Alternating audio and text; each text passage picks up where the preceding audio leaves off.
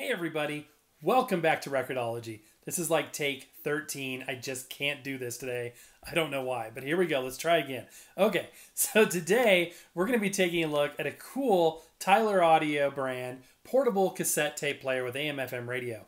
Now, if you're anything like me, you will have a fond memory of cassette tapes as a technology. And isn't it interesting that we often go back to the technologies that we enjoyed in our youth?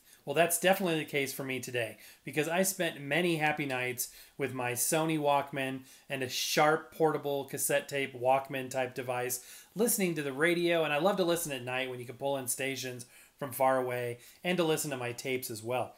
And speaking of tapes, I had this copy of uh, Michael Jackson's Bad is my second copy, maybe even third, because literally the first one I had, I wore it out. I literally wore the tape out and had to buy a replacement because I listened to it so much. This and New Kids on the Block for some reason. Anyway, we're going to take a look at this new tape player, see how it stacks up to what we're used to and what we grew up with. You're not going to want to miss this.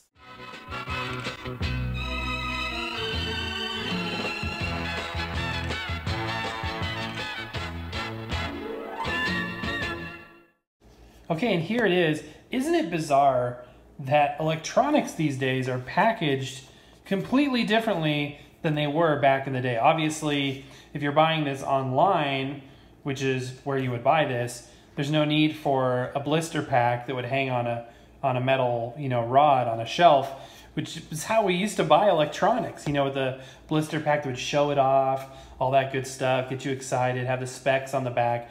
Now it's in boxes for the simple sake of, you know, shipping and portability and, you know, ease of shipment for the manufacturers. But it's interesting how now you get the product it just comes in this. But anyway, so here it is. This is the Tyler AM FM radio cassette player. And this design is similar to like what we saw with the Jensen portable. And that's uh, a product that we've looked at in the past as well. It features a full band AM FM radio. It includes stereo earbuds. I love how they're doing that. They never used to do that. When you used to buy a tape player, well, no, cassette players used to come with those headbands. Remember those headbands with like the foam sponge ear covers?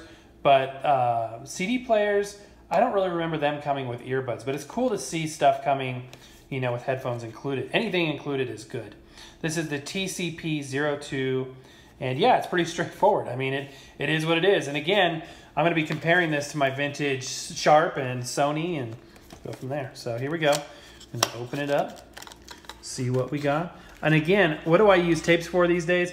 I like to tape, you know, it's really interesting reading your guys' comments on the Tyler Audio shoebox player, which, you know, that video was really fun to do because a lot of memories, again, from that world as well. But it was really interesting to hear you guys talk about recording movie sounds and, you know, music. And, you know, those are the things I used to do as well, still do. I like to record movie sounds or movie audio and then listen to them at night as I fall asleep. Okay, so here are the headphones. Take a look at these. In a simple little Ziploc bag. I have a pair of these. Yeah, we've definitely, probably from another Tyler product. They get the job done and uh, you know, they're not gonna be the best earbuds you ever had, but they'll get you started and uh, will you know do a decent job until you can replace them with something higher end if you want to. But I'm gonna go ahead and listen to those off camera in a little bit and I'll let you know exactly what I think. And here is the main unit itself. So let's go ahead and it's got a bubble wrap loosely placed in here. Yep, there it is. Very sleek, sort of a matte black finish, which I like.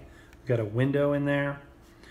You know, this is a bit different than the Jensen. This isn't identical, I don't think. Because I remember the buttons to that one were right where the plastic pieces met. So let's look at the top here. What do we got? Okay, looking at the top here, we have the headphone jack. I have no idea if that's stereo or not. A switch that selects between tape and radio. A tuning dial and an AM FM switch. Rotating this around, we have the familiar buttons. Stop, fast forward, and play. That means it is a one direction motor. So if you want to rewind, you have to flip the tape over, fast forward it, flip it back over again, and that's just a struggle that children of the 80s are familiar with. There's the volume knob, good placement on that. Yeah. And then on the bottom here, you do have a 3 volt power supply if you want to power it off of AC. But we're going to be using the battery compartment. It does include this uh, belt clip here if you want to remove that. Usually they just slide off, so you don't have to have that. And that's about it. Pretty simple stuff. Two double A's with my Rayovac rechargeables.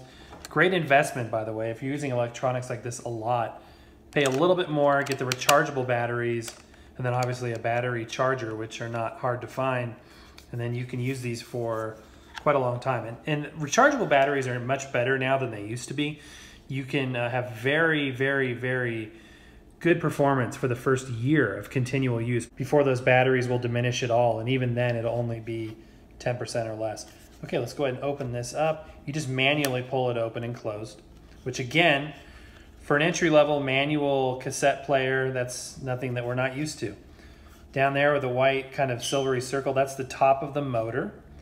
And I'm guessing this is a Tanashin clone mechanism. Let's take a look at that. So hard to identify because this is not a recorder and usually identify Tanashin or Tanashin type players by that blue erase head. So this doesn't have an erase head. Here's another angle. That capstan is just blocking it, but you can tell that head is a mono head because it has one section with that black border around it. Stereo would have two. But yeah, that's about it. Here's a look on the inside here. Okay, I'm gonna connect headphone jack to a speaker. We'll be using this guy again. Again, great investment, 10 bucks or so, and an excellent speaker for testing stuff. Powering Looks really on. good. Ready to pair. Surprisingly good sound quality. Turn up the volume all the way. Maximum volume. Put that just off camera. Okay, so there may or may not have been about five hours since the last clip and this one, because as it turns out, my batteries were all depleted. So I put them all in there and we should be good to go, I hope, because when I tried earlier, the thing sounded like it was in slow-mo. So I'm thinking my batteries just needed to be charged. So. And I don't have any alkalines in the house right now, at least not in this size. Okay, so I'm gonna reconnect this to my speaker. Again, using the headphone jack there. Okay, we've got our batteries in, we've got our speaker connected. Now we just need a tape. Soundtrack to my childhood being inserted presently. Oh yeah, I remember this stuff.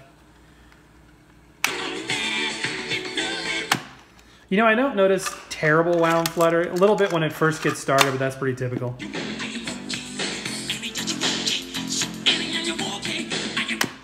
Yep, good stuff. All right, let's test out the radio.